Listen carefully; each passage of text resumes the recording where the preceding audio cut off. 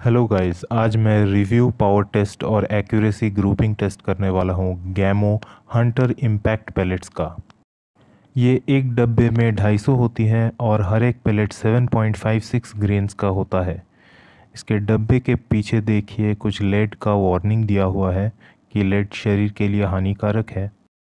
ये पैलेट्स आपको किसी भी ऑनलाइन स्टोर पे साढ़े चार सौ से पाँच सौ रुपये में मिल जाएगा।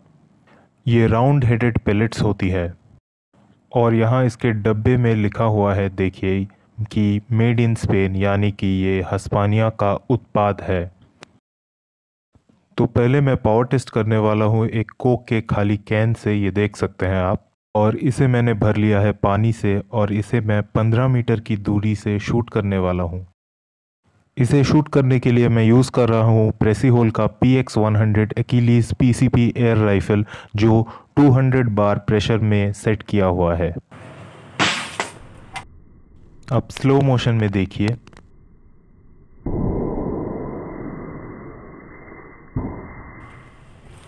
चलिए अब कैन को करीब से देख लेते हैं कि इम्पैक्ट कैसा हुआ है। तो ये देख सकते हैं, ये एंट्री होल है ये पूरा का पूरा कैन फट गया है, ऊपर से नीचे तक। करीब करीब चार इंच का एंट्री होल है और ये देख सकते हैं, एग्ज़िट होल भी एक इंच का है। दूसरे पावर टेस्ट के लिए मैंने लिया है ताश की एक नई गड्डी जो एक, दो, तीन, चार करके अरेंज्ड है और इसे मैं प्रेसी होल के P X one hundred Achilles P C P air rifle से 15 मीटर्स के डिस्टेंस से 200 बार के प्रेशर में शूट करने वाला हूँ। एक बार स्लो मोशन में देखिए। चलिए अब देख लेते हैं कि ये पैलेट कितने पत्तों को भेद पाया है। ये देखिए यह है एंट्री होल और ये पैलेट अभी भी गड्डी के अंदर ही फंसा हुआ है। पीछे से बाहर नहीं निकला है। ये देखिए, एक, ये दो, ये तीन, ये चार, ये पाँच, छ सात और ये आठ। आठवें पत्ते पे फंस गया है हमारा पैलेट और ये देखिए क्या हश्र हुआ है पैलेट का। देखते हैं इम्पैक्ट से कितने पैलेट्स फटे हैं। ये है नौ, ये दस, ग्यारह, बारह,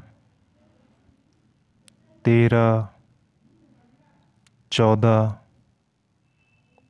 पंद्रह सोलह, सत्रह और ये अठारहवा और ये अठारहवा पत्ता फटा नहीं है। अब बारी है ग्रुपिंग और एक्यूरेसी टेस्ट की। इसके लिए मैंने लिया है एक स्टैंडर्ड 10 मीटर एयर राइफल का टारगेट पेपर और इसे मैं प्रेसी होल के पी एक्स हंड्रेड से शूट करने वाला हूँ। 15 मीटर्स डिस्टेंस से 200 बार के प्रेशर में।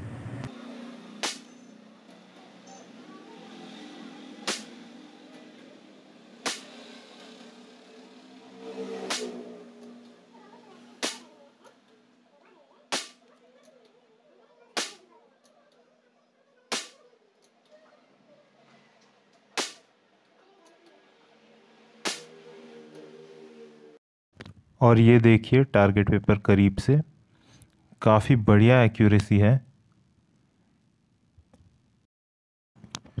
ये मैंने लिया है एक वर्नियर कैलिपर इससे आप स्प्रेड देख सकते हैं। एक इंच के अंदर ही है। वीडियो को देखने के लिए बहुत बहुत शुक्रिया और हमेशा याद रखें कि एयर राइफ़ल्स का इस्तेमाल सावधानी से करें और किसी भी जीवित प्राणी या व्यक्ति पर इसका इस्तेमाल ना करें। ये आपके लिए हानिकारक हो सकता है।